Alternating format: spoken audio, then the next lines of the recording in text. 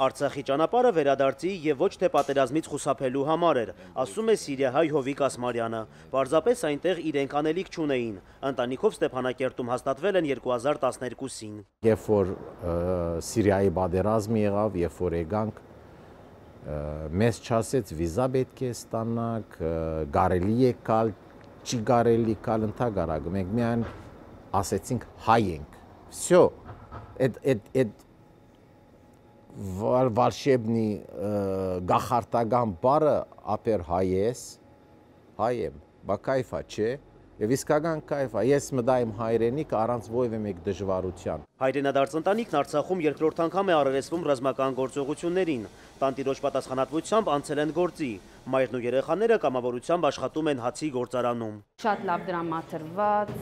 գազմագերբված, ուժեղ գամքով Ես չէի պատկերացնում, որ ես դենց ուժեղ գամքով, չգիտեմ, դենց հարցի շուրջ կգենամ, հարցի դեմ կգենամ։ Երեխաներն օրական 2 ժամ են հանգստանում, ասում են դա էլ բավական է։ Եկել են հացթխեն ռազմաճակատում կռվող տղաների համար։ Տարիներ հետո Լևոնը նույնպես կծառայի պաշտպանության բանակում։ Երբ որ ես էլ գնամ բանակ, ես էլ իրենց պես պաշտպանելու եմ իմ հողն ու ջուրս։ Իսկ գործն էլ ամեն մի հաց թխելուց դու մի օրտնություն ես պատկերում զինվորին եւ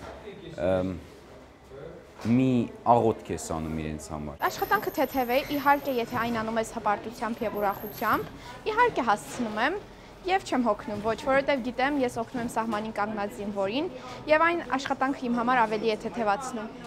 եւ զգում եմ ինչ որ մի ձև ես կատարում եմ իմ պարտքը իմ հայրենիքին։ Սեփական սրճարանում Հովիկ Ասմանյանն ամեն օր կազմակերպում է հյուրասիրություն։ Հիշեցնում է պատերազմի ժամանակ սա հայի օջախ է։ Մեր սովորությունը մենք միշտ պետք է բահենք։ Հայը միշտ եղել է հյուրընկալող, հայը միշտ գիսվել է իր հացը, հայը միշտ գիսվել է իր ուրախությունը, հայը միայն չէ գիսվել իր ցավը։ Դրա համար մենք պետք է ավանդությունները բահբանենք եւ շարունակենք ովևէ մեկ ժամանակ, ովևէ մեկ երբ որ պետք ունենա որևէ մեկ բանի, գիտե որ մի հայ օջախի թուրը եթե զարգավ, ինքը այնտեղ